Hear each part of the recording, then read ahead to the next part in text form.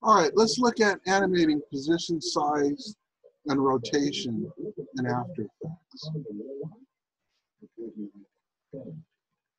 So here we are back in our, our, our project that we had started with um, creating a, a shape and making it perfect. And we're gonna toggle down all of those transform tools. And I'm gonna delete the opacity uh, um, keyframes that we had made. And I'm gonna set this to one second. And what I wanna do is I wanna animate this square rising up and setting into place. So lots of times it's easier to start when you want the object to end up.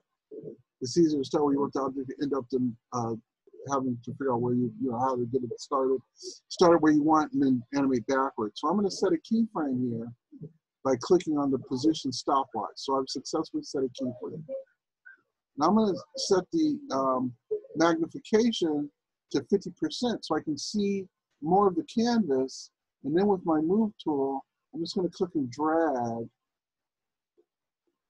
Oh, um, let's do this. Let's set the first keyframe.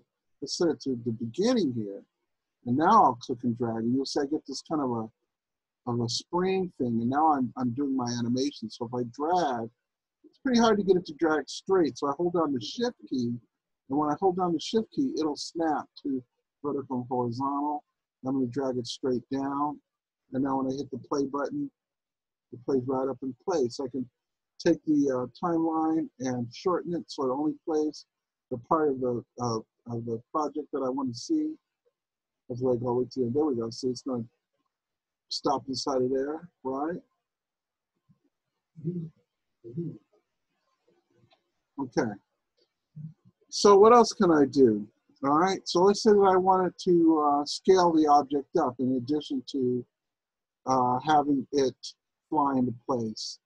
I'm going to set the keyframe for scale, right? So I can scale it horizontally and vertically, or I can unlock and scale one without the other. I'm going to set the scale to 100%. So I want it to be the size it is when the project, when it rests. Then I'll go back to the first keyframe, and I can see this like a outline of the shape, and I'll just set it to, I can uh, drag this, or I can click in here and enter an increment. Let's say I want it to be 50% of its original size. And now it's 50% of the size. So in addition to flying up, it's also scaling up. Let's set another keyframe. Let's uh, do the rotation. So I'm going to set it back at the be at the uh, first keyframe or the, the last keyframe in the uh, the animation. I'm going to turn on the rotation.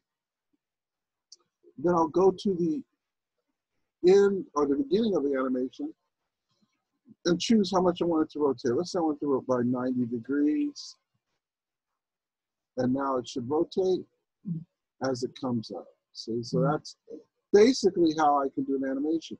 Lots of times when you're animating something, sometimes it's easier to set the keyframe where you can see it on the screen and then drag it into place uh, after you've set it. And so for instance, if I were to change the rotation again, it would be rotating from this point to this point to this point.